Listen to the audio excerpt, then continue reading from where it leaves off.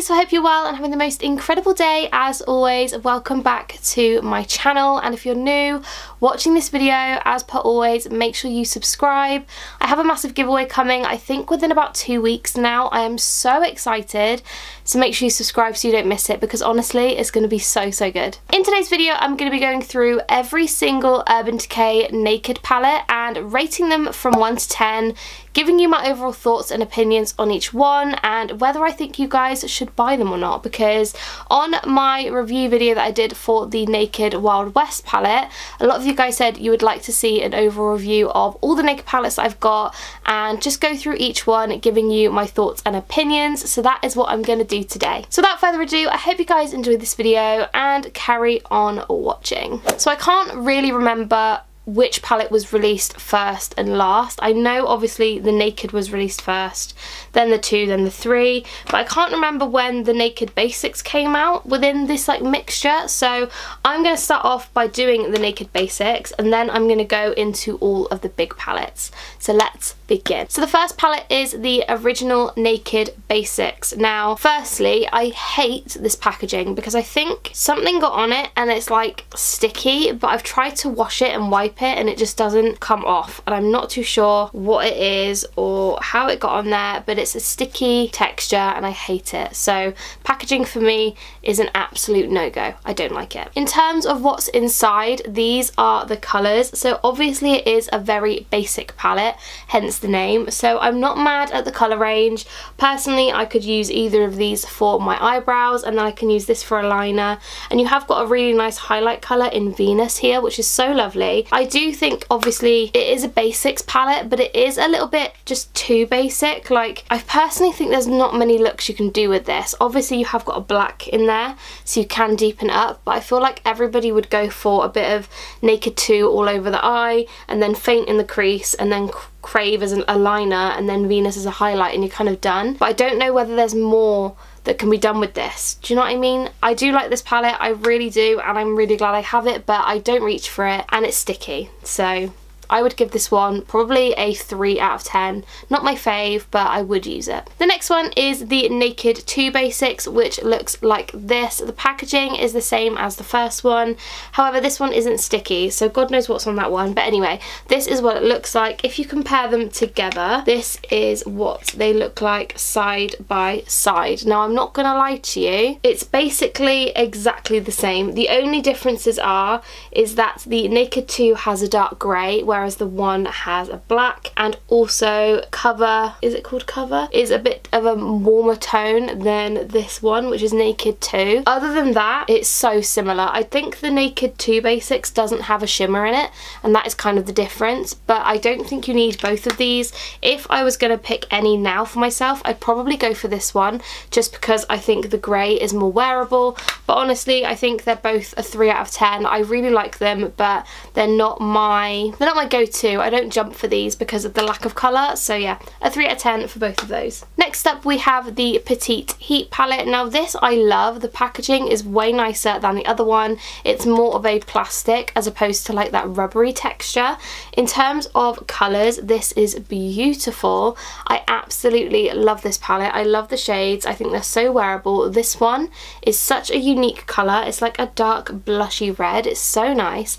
And obviously you've got the shimmer shade and then all of these are mattes so lovely. I really wish they did the minis for every Naked palette, but they didn't, which is such a shame because I would love to have had minis of like the Cherry and the Ultraviolet and the Honey palette. I just think they're so nice, great for travel. Um, but this one I would give probably like a 7 out of 10. I really like it. Obviously you are limited again with colour, but I think you can do a lot more with this than you can do with like the Naked basics. So yeah, I love this. I think it's so nice. And if you like your warmer tones, really great palette. So now moving on to all of the full size palettes. Now I know that some of these are discontinued or limited edition, but I'm just going to go through them all anyway and give you my honest opinion on them as if you could go and buy them, if you know what I mean. So the first one I'm going to start off with is the OG Naked palette. Now I remember buying this and I...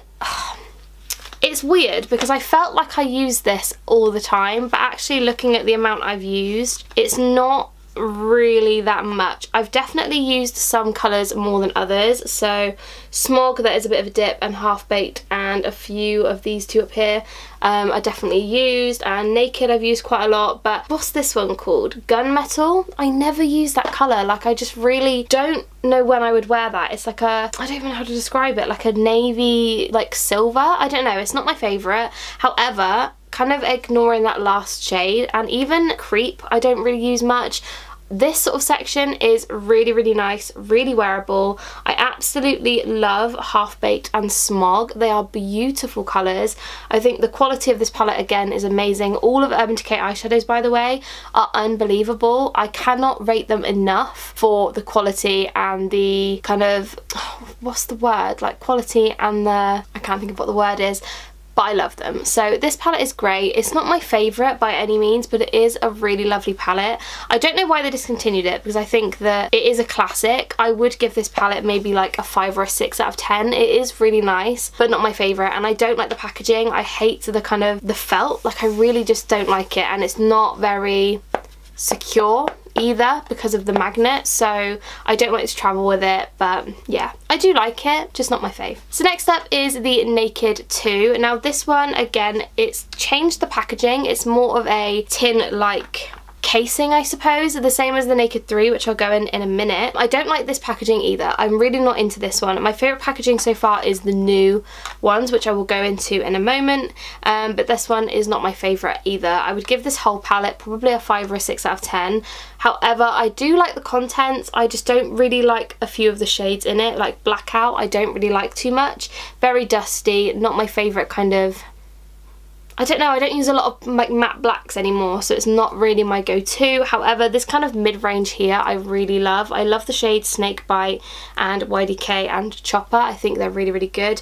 Um, but other than that, I would probably give this one a 5 or 6 out of 10. Similar to the first one, I just really don't like the packaging. I think it's just a bit like cheap, and especially because these were about £40 at the time. Not the best packaging in my opinion. Now moving on to the Naked 3. This one went absolutely viral because everybody absolutely loved those kind of pink champagne tones at the time and this is absolutely full of those kinds of colours. Again, it's got that really gross packaging, which I don't like. Um, but colour-wise, I really, really love this palette. The only one I haven't really used is Black Heart, which is a black with a red and pink kind of glitter to it. But other than that, this whole palette I have really, really really enjoyed. The shades Trick and Buzz, I can't really see because I've used it so much.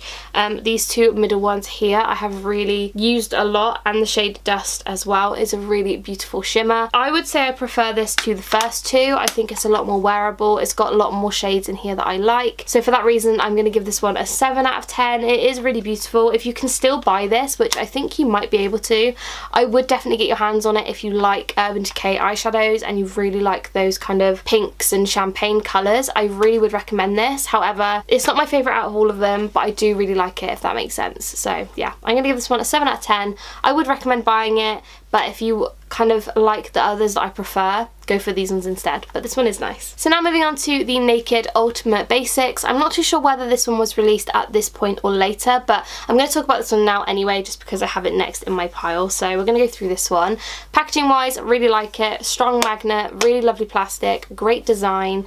The only problem I have with this is that because it is the basics palettes, you only have one really light shimmer in here. And I feel like for making a complete eye look, I could have done with maybe two or three shimmers in here just to give me some variety and a bit more. I don't know, it's just really hard to make a complete look with this palette because of the lack of shimmers in here. Obviously when this one was released, matte eyeshadow looks were definitely more popular and on trend and the thing to go for so for that reason you can't really complain but I do wish now that it had a few more shimmer shades. I do really like the shades Tempted and Instinct and I think those are my favourite. These kind of like pinky tones I really enjoy. I really like this one which is extra bitter, this burnt orange, really lovely um, and Lethal is really nice. It's a really beautiful like plummy brown, really pretty. But yeah, overall I would give this one probably like a six and a half out of 10. I do like it, I'm glad that I have it, but I do find it hard to to make a look just based on this one palette alone and not bring in other colours. So I do like that, but it's not my ultimate fave. Next up we have the Naked Smoky palette. Now this is the first time that we've seen the better in my opinion packaging. I much prefer this packaging to any of the others. It's so sturdy. I can put it in my suitcase and it doesn't break. It's got a really strong magnet. It's just really lovely quality and I just much prefer it. I love the fact that the mirror goes all the way back so it means I can do this and not blind you. I have still got the plastic thing on it just because I didn't ever take that off. I'm not really sure why. I have a very big love and hate relationship with this palette. There are some really beautiful colours in here. I absolutely love the shade Armour and High. Really beautiful shimmer shades as well as Smolder which is a really just delicious like purpley black. It's so nice.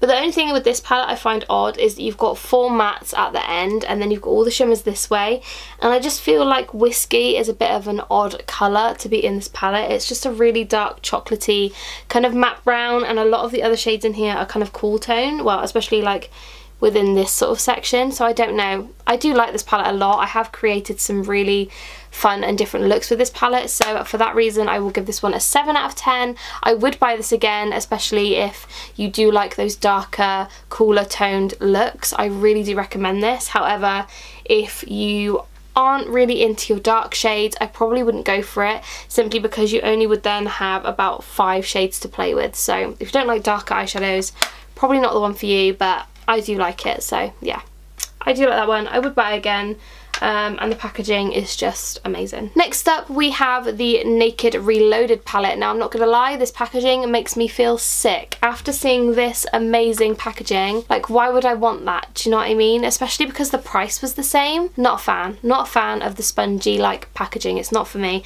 However, colour wise, I Love it. Now I believe this Naked Reloaded palette was meant to be a reloaded version of the original Naked, so let's compare them together. I've actually never done this, so it'll be interesting to see the difference. So as you can see, this is the difference. They are super, super different. I wouldn't even go to say these are somewhat similar. They have a similar kind of light colour, they have a similar kind of gold shimmer, but other than that, they're very, very different. So the Naked Reloaded, in my opinion, is better. I much prefer it. It's much more wearable for me, and I absolutely love the kind of shade range and the kind of colour story of this palette. I really like it, especially Retro, Reputation and Burn. I think they're so lovely colours, like really delicious. I love them. Um, I also really like the shade Bucked and Blur, which are these two. I use these ones a lot as kind of transitional colours. Really like those. You have Barely Baked, which is very similar to Half Baked in my opinion, and Angel Fire, which is this really beautiful like champagne flaky, glittery amazingness. I love it so much. So yeah, Naked Reloaded. The actual quantity, quantity? What's the word I'm looking for? The actual, not quality, content where like quality from? The content of this palette I would give a 10 out of 10. I really love the colour story, the colour range. I would take this away with me on holiday and I would have no issues with making different looks with this one palette, so I love that. However, I hate the packaging. So I'm going to give this one an 8 out of 10. Oops, dropped it an 8 out of 10 because the packaging is gross and it just doesn't feel like 40 45 48 42 however much this was pounds worth of like product because of the packaging. So yeah not my favorite but I would probably buy it again if it had different packaging. The next one is the Naked Heat palette. Now this one went absolutely viral again because these colors were really on trend at the time and I think Urban Decay kind of bring out palettes and they really know what's on trend at the time and that is why they go absolutely viral. But this Naked Heat palette is absolutely stunning. Now it is no lie that I do love a warm eyeshadow look. I do love an orange. I've got a slight orange on today, more of a like bronze, but there's definitely a bit of orange in there. And I cannot recommend this palette enough. I absolutely love it. Now I'm not too sure whether this is still available so I am so sorry if it's not. If it is though please go and buy it. This is absolutely stunning. The shades Scorched and Dirty Talk and Lumber are my absolute faves which are these. I mean I like He Devil too so those kind of like four middle ones I really really enjoy. But this whole, oh, I just love it. I just love this palette. I love that the shade names kind of relate to the palette names. so you've got things like Ember, Ashes, you've got Cayenne and Fuego, Scorched, um, Sauced, ounce, most of which relate to heat and fire. I love that. So this palette I would happily give a 9 out of 10. I have no complaints with this palette. I only give it a 9 out of 10 because I feel like, I don't know whether any of these are a solid 10 out of 10 yet. I'm not too sure. I will let you guys know. But yeah, this one definitely a 9 out of 10, maybe a 9.5 out of 10. Really like it. Packaging is great and yeah, amazing, amazing. The next palette is the Naked Cherry. Now this one is heavenly. It is heavenly. Look at these shades. Now, I'm not going to lie to you. I haven't really had so much time using this palette. I really need to use it a bit more because I absolutely loved it when I did use it. Um, I haven't had much time using it recently, so I'm definitely going to have to dig this one out. But by looking at it now, I love Bang Bang, which is this beautiful like champagne shimmer, and also Young Love, which is this yummy like berry colour. Oh, I just love this palette. Again, 9.5 out of 10. The packaging is stunning. The colour story is amazing and I love it. I love this one. So yeah, 9.5 out of 10. Really love that. The next one is the Ultra Violet palette. Now this one came out I believe at the start of lockdown last year and I just saw this and was like I need that in my life. The packaging, stunning, stunning. And the contents, stunning. Like look at these colours. This one, what's it called? Lucid. This colour, how unreal is that? I have to swatch it to show you guys because honestly, you're not going to see kind of the, let me show you. Do you see that? I don't know whether you can see how nice that is on camera just by putting it on my hand, but oh, it's so nice. That colour is lovely. It's like a green shifty highlight colour. It's so nice. Kind of weird when you look at it in the palette, it like stands out, but I really like it. I also love the shade Dazed, which is this really lovely like warm orangey bronze. Really pretty. And obviously the purples in this are unreal. I love a purple eyeshadow. I think it really complements brown eyes, which is why I love it so much. I just really, really like it. I would also give this one a 9 out of 10. I think it's stunning. It's so nice. And if you don't have this, honestly, if you love purple, just buy it and thank me later, especially just for Lucid. It's amazing. So 10 out of 10 would highly recommend. And if you've not tried this, please go and swatch it when we can because it's just delicious. Amazing. Next up we have the Urban Decay Naked Honey Palette. Now I've used this quite a few times in videos and a lot of you guys have said, oh my god, what eyeshadow have you got on? I love that and it's always been this one. So you guys seem to really, really like this one. So if you love a bronze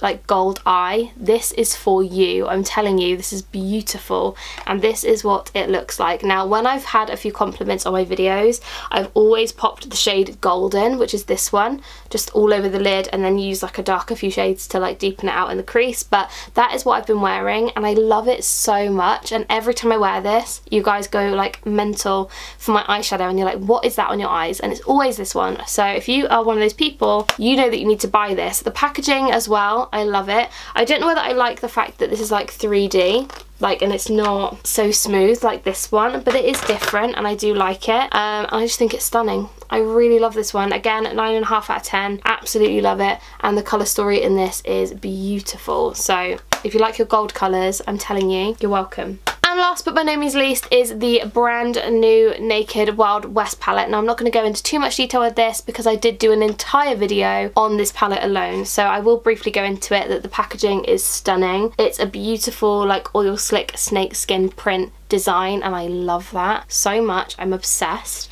And again, the colour story in this is just delicious. Like when you think of Wild West and cowboys and that kind of vibe, this is what I see. I love that. Bud is my absolute fave. I have been using that a lot recently, especially with Ghost Town and what was the other one? Nudie. So I use Nudie all over the lid and then I put Ghost Town on top and then I put Bud on the lid. Does that make sense? I meant in the crease. You know what I mean. And it just makes a beautiful look. I would have to give this one a 9 out of 10. I'm absolutely obsessed with this palette and I might even have to say that it is my current fave. So yeah, I'm obsessed with this. I'm not going to go into too much detail because I have done a whole video on this. So check that out. But yeah, amazing. I love that. So those are all of my thoughts and opinions on every single Urban Decay Naked palette. I think. I think so anyway. I really hope you guys enjoyed this video. Let me know down below which ones you have and which ones you really, really enjoy because I'd really love to know and I love eyeshadow palettes. Urban Decay eyeshadow palettes are my guilty pleasure. So if you are like me and you're obsessed with eyeshadow and makeup and that kind of thing, let me know down below what your favourite palettes are. Even if it's not Urban Decay, let me know because I'd love to know. And yeah, I hope you guys have a fantastic day. I love you guys so much. Make sure you subscribe and I will see you very soon. Bye guys. Thank you.